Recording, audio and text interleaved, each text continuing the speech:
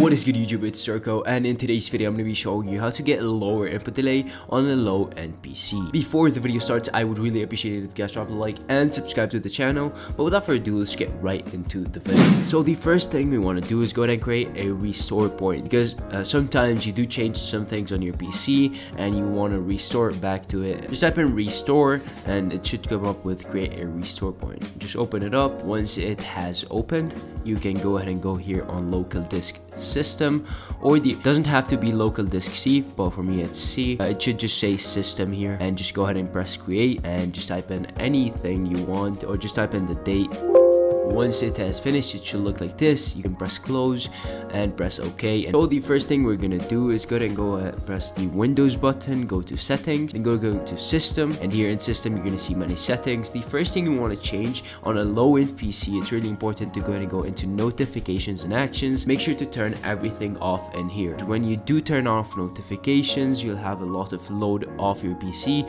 And while you're playing, you're not gonna get any messages from any like Google sites or anything. So make sure to turn everything off in here. And next up you can go and close this up and go ahead and move on to the next setting. If you do have an nvidia geforce card go ahead and press the uh, arrow down here right click on the nvidia geforce experience app. And if you don't have this app make sure to download it. It's really important.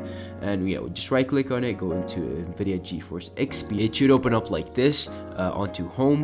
But one thing you want to do first thing obviously go to drivers and make sure you have the latest drivers.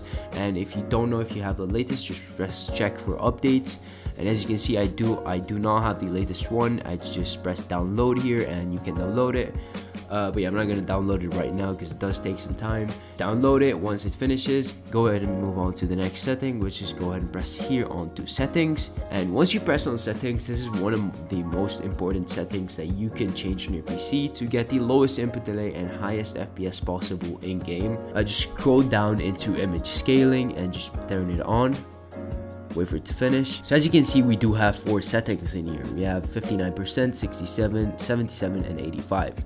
Now, depending on what PC you have, or if your PC is really bad, you're gonna have to go into 59. If you have a better PC, go into 67, and just etc. Just depending on what PC you have. So you can go ahead and try out every single setting, but the one that is most important for your game not to look any blurry or bad, just make sure to go into sharpen down here and put it on at least like 65% or 70% uh, depending on which one you put. If you put 59%, you want it slightly higher. But if you put it on a higher resolution, yeah, then you can lower the sharpen. But yeah, that's pretty much it for this setting. Just uh, try it out, see which one fits best for your PC and yeah that's pretty much it but yeah, once you finish you can close this out and yeah guys that's pretty much it for this video i hope this video helped you and if it did please make sure to like and subscribe for movies like this one but yeah i'll see you in the next one peace